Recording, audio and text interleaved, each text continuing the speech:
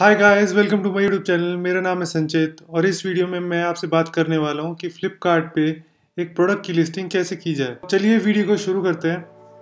तो जैसा कि आप लोग यहाँ देख सकते हैं कि मैं फ्लिपकार्ट के डैशबोर्ड पे लॉग्ड इन हूँ। तो लिस्टिंग करने के लिए सबसे पहली चीज़ हमें क्या करनी होगी कि हमें यहाँ लिस्टिंग्स टैब पे जाके ऐड न्यू लिस्टिंग्स का ऑप्शन चूज़ करना होगा। तो हम वो चूज़ कर लेंगे। उसके बाद हमें यहाँ पे दो ऑप्शन मिलेंगे। ऐड ए सिंगल लिस्टिंग्स का और और ऐड लिस्टिंग्स इन बल्क का। तो इस वीडियो में अभी हम सिर्फ़ ऐड ए सिंगल लिस्टिंग्स पर बात करेंगे। ऐड लिस्टिंग्स इन बल्क पर मैं एक सेपरेट वीडियो बनाऊँगा और उसमें आपको ये समझाऊँगा कि बल्क लिस्टिंग कैसे की जाए। तो चलिए ऐड ए सिंगल लिस्टिंग्स पर क्लिक करके देखते हैं। ऐड ए सिंगल लिस्टिंग्स पर क्लिक करने के बाद आपको यहाँ पे आपके प्रोडक्ट के हिसाब से बहुत सारी कैटेगरीज मिल जाएँगी। आपका प्रोडक्ट जो है वो जो भी कैटेगरी में पड़ता है, या जो भी कैटेगरी का प्रोडक्ट है, उस हिसाब से आप यहाँ पे उस कैटेगरी को चूज़ कर लीजिए। फॉर एग्ज़ाम्पल मैं आपको यहाँ पर एक वॉलेट की लिस्टिंग करके एक्सप्लेन करूँगा कि कैसे फ्लिपकार्ट पर लिस्टिंग की जाए। तो वॉलेट की जो कैटेगरी है, वो है लेदर एंड ट्रैवल प्रोडक्ट्स उसके बाद मैं जाऊँगा बैग एंड फ़ैशन एक्सेसरीज़ में। उसके बाद, ये देखिए वॉलेट कार्ड वॉलेट्स को मैं सिलेक्ट करता हूँ तो मुझे यहाँ पे बहुत सारे वॉलेट के टाइप्स मिल जाएँगे। तो आप जैसे कि यहाँ देख सकते हैं वॉलेट कार्ड वॉलेट्स में card holder card holder document holder money clip wallet और एक ब्रिस वॉलेट लिस्ट करना अलाउड है। और एक कैजुअल क्लच फॉर्मल पार्टी और स्पोर्ट्स वॉलेट अलाउड नहीं है। यहाँ पर एक हमें सिलेक्ट ब्रांड का ऑप्शन मिलेगा हम उस पर क्लिक कर देंगे।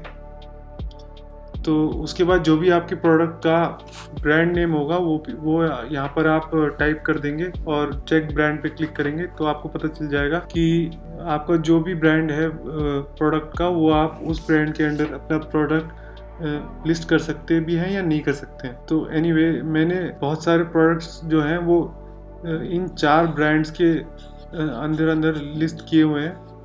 तो इस बार भी मैं ये फॉर एवर यंग पे चूज़ क्लिक कर लूँगा। जब आप बहुत सारे प्रोडक्ट्स लिस्ट कर लेंगे तो आपको भी यहाँ पे आपके ब्रांड्स जो हैं वो मेंशन मिलेंगे। अपने नए जो भी प्रोडक्ट्स होंगे, वो क्रिएट न्यू लिस्टिंग्स पे क्लिक करके यहाँ पे लिस्ट कर सकेंगे। क्रिएट न्यू लिस्टिंग क्लिक करने के बाद में इंफॉर्मेशन डालनी होगी अपने प्रोडक्ट की। और प्रोडक्ट फ़ोटोज से लेकर प्राइस स्टॉक शिपिंग इन्फॉर्मेशन से लेकर प्रोडक्ट डिस्क्रिप्शन तक आपको सब कुछ मेंशन करना होगा। और तो चलिए यहाँ पे प्रोडक्ट फ़ोटोज़ पे क्लिक करते हैं अपलोड करते हैं फ़ोटोज़ तो प्रोडक्ट की जो फ़ोटोज़ होंगी वो भी आपको अलग अलग एंगल्स से खींचनी होंगी और यहाँ पर आपको जैसे मान लीजिए front view inner view back view के एंगल से ली गई फ़ोटोज़ तो कम से कम आपको अपलोड करनी होंगी। ताकि आपका जो प्रोडक्ट है वो कस्टमर को अलग अलग एंगल से दिख जाए और उसको और आसानी हो आपका प्रोडक्ट परचेज करने में। तो चलिए यहाँ पे फ़ोटोज़ अपलोड कर देते हैं। तो फ्रंट व्यू में फ्रंट एंगल से ली गई फ़ोटोज़ यहाँ पे हम अपलोड करेंगे।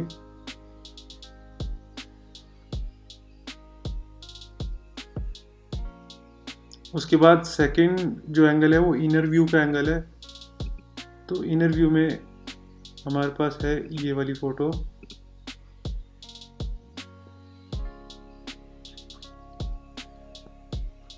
तो फ़िलहाल हम फ्रंट व्यू और इनर व्यू की फ़ोटोज़ अपलोड हमने कर दी हैं और यहाँ पे हम सेव का ऑप्शन क्लिक कर देंगे। उसके बाद हम चलते हैं यहाँ पे प्राइस, स्टॉक और शिपिंग इंफॉर्मेशन में।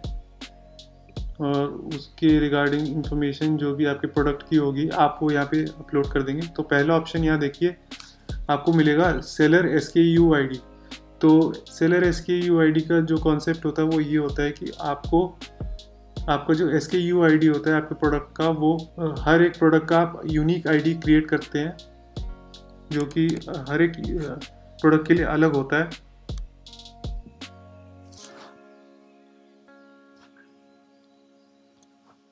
और यहाँ पर हम एग्ज़ाम्पल के लिए कर देंगे. क्रिएट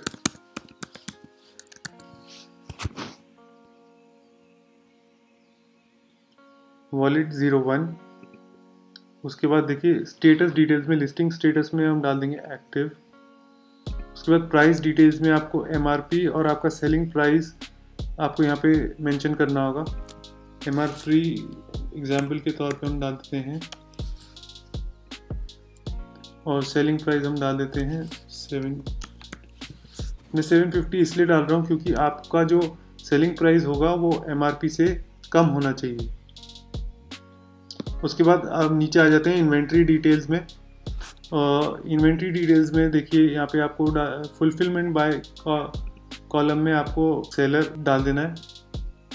प्रोक्योरमेंट टाइप में आपको इन स्टॉक मेंशन करना है। Procurement S L A procurement S L होता है वो कॉलम इसका मतलब होता है कि कितने दिनों में आप अपना प्रोडक्ट जो है वो शिप कर पाएँगे रेडी करके कस्टमर का ऑर्डर आने पर। तो ये आपको एक से दो दिनों के अंदर शिप करना होता है। उसके बाद आपका अगर आप उससे लेट करते हैं तो आपको एक पेनल्टी लग जाती है। तो यहाँ मैक्सिमम में डाल देता हूँ टू डेज़ उसके बाद देखिए स्टॉक में आपको ये डालना होगा कि आपके एक पर्टिकुलर प्रोडक्ट की जो आप लिस्ट कर रहे हैं, उसकी क्वांटिटी कितनी है आपके पास। तो एग्जांपल के तौर पे मैं डाल देता हूँ दस। शिपिंग प्रोवाइडर में मैं डाल देता हूँ फ्लिपकार्ट और अगर आप अपना प्रोडक्ट जो है वो खुद शिप कर रहे हैं तो यहाँ पर आप सेलर ऑप्शन मेंशन करेंगे। उस केस में जब भी आपको ऑर्डर आएगा तो फ्लिपकार्ट की तरफ़ से आपको कोई लेने शिपिंग सर्विस लेने नहीं आएगी। आपको खुद ही जाके अपना प्रोडक्ट जो है वो सबमिट करना मतलब शिप करना होगा। तो यहाँ पे मैं सेलर चूज़ कर लेता हूँ। अब यहाँ देखिए आपको डिलीवरी चार्ज में लोकल डिलीवरी जोनल और नेशनल लेवल पे डिलीवरी चार्ज जो है वो आपको चार्ज करना होगा। तो उसके हिसाब से मैं डाल देता हूँ twenty five forty five sixty five. Flipkart plus में मैं डाल देता हूँ, non plus listing H S N code में। देखिए एच एस एन कोड होता है, जो भी आपका प्रोडक्ट के हिसाब से relevant H S N code होगा, जीएसटी टैक्स रेट के हिसाब से, वो आप यहाँ मेंशन कर देंगे। तो मेरा है इसमें वॉलेट्स के लिए 18 परसेंट के टैक्स रेट में, ये जो है, four two zero two three one two zero, ये मैं यहाँ पे चूज़ कर देता हूँ। उसके बाद टैक्स कोड में G S T underscore eighteen उसके बाद कंट्री ऑफ़ ओरिजिन में इंडिया डाल के यहाँ पे सिलेक्ट कर देता हूँ और सेव का ऑप्शन में क्लिक कर दूँगा। तो ये तो हुई आपकी प्राइसिंग स्टॉक और शिपिंग की इंफॉर्मेशन उसके बाद आ जाते हैं आपकी प्रोडक्ट डिस्क्रिप्शन पर। प्रोडक्ट डिस्क्रिप्शन में सबसे पहली चीज़ आपको मॉडल नेम फिल करना होगा, जो कि आपका प्रोडक्ट का जो विजुअल डिस्क्रिप्शन है, वो आप डाल सकते हैं एग्ज़ाम्पल के लिए। तो मैं यहाँ डाल देता हूँ wallet for women green type में डाल देता हूँ वॉलेट स्टाइल कोड जो है अगेन आपको खुद ही क्रिएट करना होगा और वो आपके हर प्रोडक्ट के लिए यूनिक स्टाइल कोड होगा एक। यहाँ पे मैं एग्जांपल के लिए क्रिएट कर देता हूँ वॉलेट हंड्रेड ब्रांड कलर में आप अपने प्रोडक्ट का कलर डाल देंगे। कलर में भी आप अपने प्रोडक्ट का ही कलर डालेंगे मोस्ट लाइकली उसके बाद अपना मटेरियल सेलेक्ट कर देंगे, जिस भी मटेरियल से आपका प्रोडक्ट बना है। और वो किन लोगों के, किन उसके लिए आइडियल है? किन, जो भी आपके, जो भी आपके टारगेट कस्टमर्स हैं, वो मैन हो सकते हैं विमेन हो सकते हैं बॉयज़ हो सकते हैं गर्ल्स हो सकते हैं। Number of card slots two wait मैं एग्ज़ाम्पल के लिए डाल देता हूँ हाइट एग्ज़ाम्पल के लिए डाल देता हूँ फाइव और पैक ऑफ़ का मतलब होता है कि आप अगर अपना प्रोडक्ट जो है वो कॉम्बो में शिप करेंगे तो ज़ाहिर सी बात है कि कॉम्बो दो या तीन प्रोडक्ट्स का हो सकता है तो यहाँ पे आप अगर आप दो, तीन प्रोडक्ट्स एक साथ शिप कर रहे हैं तो आप यहाँ टू और थ्री डालेंगे। मैं क्योंकि सिंगल प्रोडक्ट ही शिप करूँगा तो मैं यहाँ वन डाल देता हूँ। उसके बाद मैं यहाँ पे सिलेक्ट कर लूँगा सेव का ऑप्शन तो ये सारी इन्फॉर्मेशन डालने के बाद प्रोडक्ट की फ़ोटोज़ डालने के बाद प्राइस स्टॉक शिपिंग इन्फॉर्मेशन डालने के बाद प्रोडक्ट डिस्क्रिप्शन डालने के बाद, आपको यहाँ पर नीचे देखिए सेंड टू क्यूसी का एक ऑप्शन अवेलेबल हो जाएगा। जब सारी इन्फॉर्मेशन आप सही तरीके से डाल देंगे, बिना किसी एरर के तो आप यहाँ सेंड टू क्यूसी पे क्लिक करेंगे।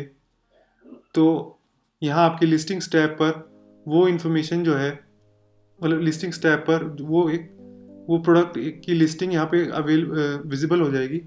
और यहाँ देखिए स्टेटस में क्यू सी इन प्रोग्रेस दिखाई देगा आपको। तो जब आपका जो स्टेटस है, ये अप्रूव हो जाएगा तो इसका मतलब ये होगा कि आपकी जो लिस्टिंग है वो फ्लिपकार्ट की वेबसाइट पर लाइव हो जाएगी और जो कस्टमर्स हैं, वो आपका प्रोडक्ट ऑर्डर कर सकेंगे। तो इसी के साथ मैं यहाँ अपना वीडियो ख़त्म करता हूँ और और भी बहुत सारे वीडियोस ई कॉमर्स से रिलेटेड मैं लाता रहूँगा। और इस वीडियो के रिगार्डिंग अगर आपको कोई भी अगर आपको डाउट्स थे क्वेश्चंस थे तो आपके वो डाउट्स कमेंट सेक्शन में आप लिख सकते हैं। तो मैं आपका जल्दी से जल्द डाउट क्लियर करने की कोशिश करूँगा। तब तक के लिए और ई कॉमर्स वीडियोस के लिए देखते रहिए ये चैनल और सब्सक्राइब करना ना भूलिए। Thank you